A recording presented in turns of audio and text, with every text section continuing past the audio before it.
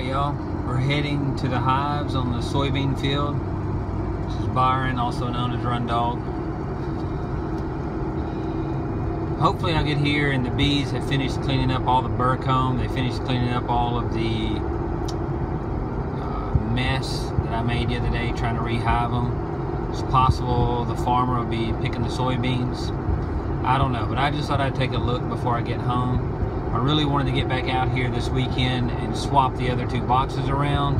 However, we're going to be camping this weekend, so the bees will have to wait another weekend. So y'all stick around. I'll see you at the hive. All right, we have not picked the beans yet.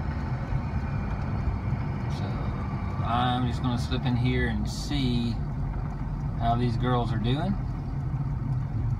I came by after church on Sunday and just took a peek. They were still cleaning up the burr comb. I am hoping that they are through now and I can pick up those few pieces of broken equipment, throw them out of the way. I've got a few boxes in the back of my truck. I think I'm gonna leave them here on the site. We're going camping this weekend and I don't need to have the boxes in the truck. And I got a good tip off of YouTube, a guy out of Australia named Jeff Harriet. I don't know how to say his last name there's a lot of boxes here that are damaged, one or two sides. He takes the boxes and breaks them apart, salvages them. So maybe I can do the same here. I don't know. I'm not hurting for equipment right now, but I hate to see a good piece of wood just go to waste. So we'll see. All right, it is October the 18th. It's almost 6 o'clock in the evening. It's a beautiful day, absolutely beautiful. I suited up because uh, YouTube people said, wear what makes you feel comfortable. I feel comfortable suited up right now. These bees have been defensive. However, I have kind of rocked their hives a little bit. So, I just want to take a look. So any of you that are watching these videos, this, these are my very first hives. They were given to me.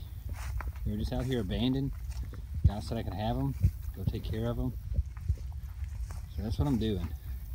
I have no clue really, other than YouTube. Um, I read some good books. I think they were good books. They helped me.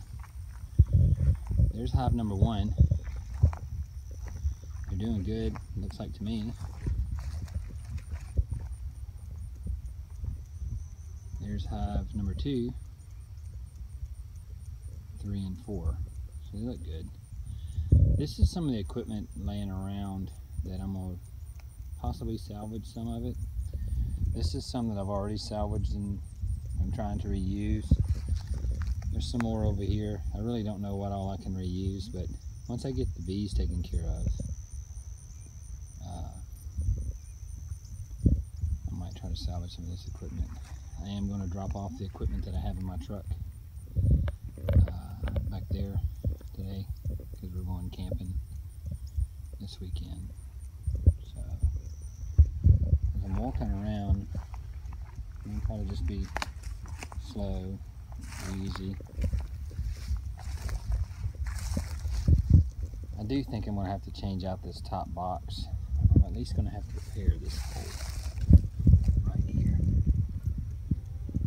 It's a pretty good hole.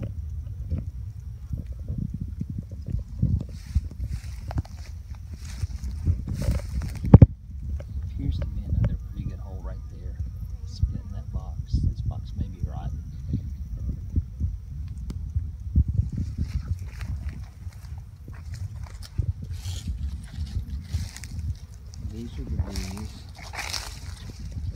and have two.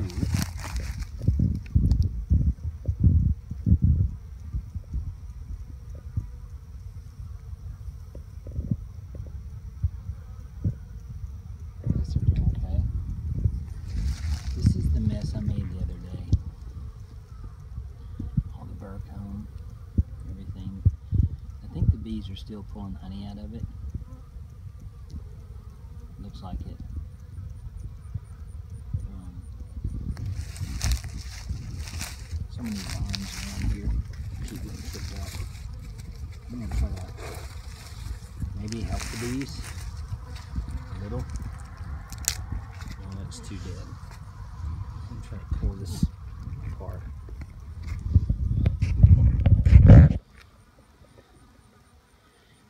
Can get in here a little better. I did kind of make a big mess. I don't know what all's in here still that they might be after.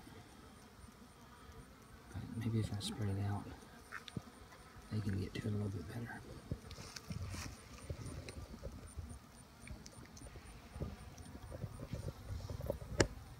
That hive is next. What a mess. That is a huge mess.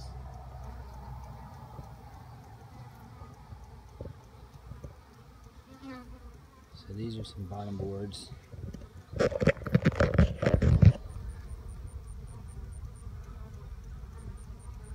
remember how we came about these. I think my boys and I, we found this one.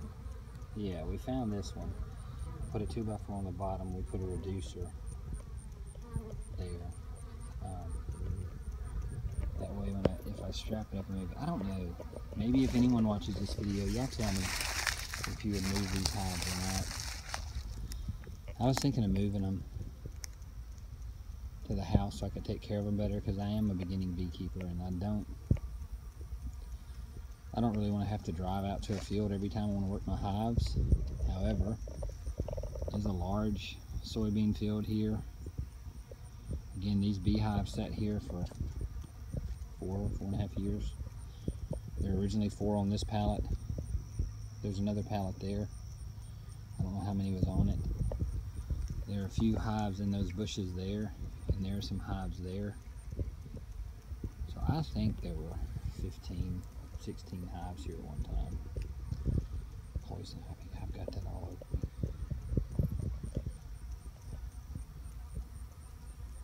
So right now the bees seem to be okay. This saw seems to be kind of cleaned up. I'm going to pick this stuff up because I think it's just trash. I don't want to keep leaving it. It might attract things I don't want. So, okay. See you guys later. This is Run Dog. Hoping for the best. Talk to y'all. Alright, I think I pulled all of these frames. The regular deep frames, Plasticell Foundation.